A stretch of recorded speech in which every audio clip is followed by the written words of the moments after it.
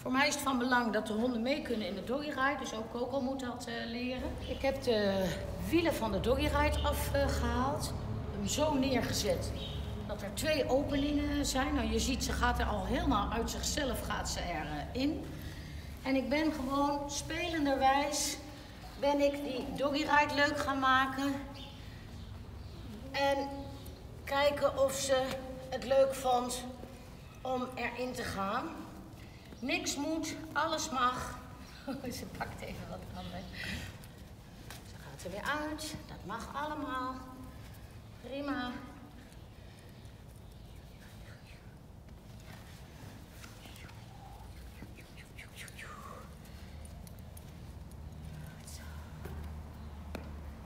met een ander speeltje. Even in de doggy ride spelen. Ze mag er weer uit. En zo maak je er een, een leuk, leuke ruimte van om te zijn. En uiteindelijk om te blijven. En nu gaan we naar de volgende stap. Ik heb hier een stellage gebouwd.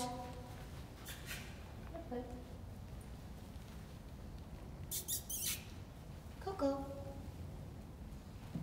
Ze vindt het erg leuk om er eh, zelf in en op te klauteren. Ik heb een kweekbakje waar ik uh, nu de voer in af heb gepast. Zodat ik mooie kleine porties kan geven. En zij natuurlijk zelf dadelijk ook een deel gewoon in de doggy ride lekker mag oppeuzelen. Probeer elke keer iets anders te verzinnen waar de maaltijd in zit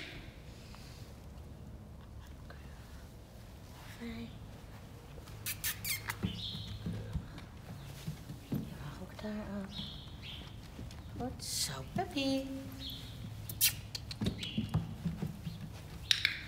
Het is echt een leuke plek om te zijn.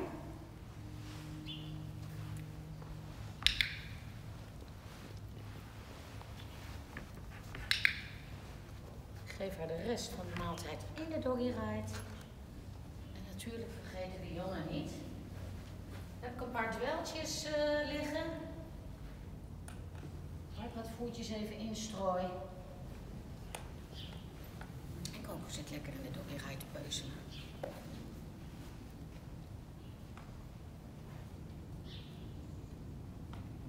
dat gaat in alle rust. Ze is sowieso altijd heel rustig met eten. Dat vind ik wel fijn ook veel aandacht aan besteed.